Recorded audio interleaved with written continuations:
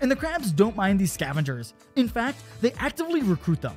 A crab will walk up to an anemone and poke it with its pincers, signaling the anemone to release its grip from the C4 and jump on the crab's back.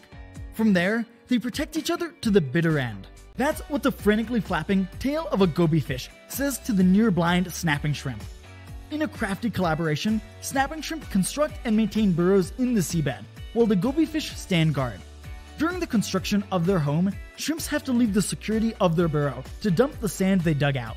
Throughout this hazardous journey, these shrimp maintain constant contact with their goby fish using their antenna. When the goby fish